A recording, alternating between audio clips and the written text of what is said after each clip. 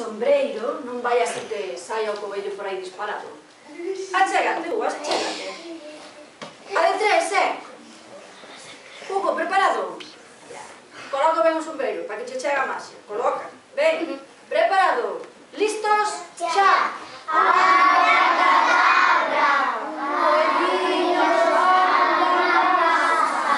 Eu creo que no patio e nas clases gritades máis, eh?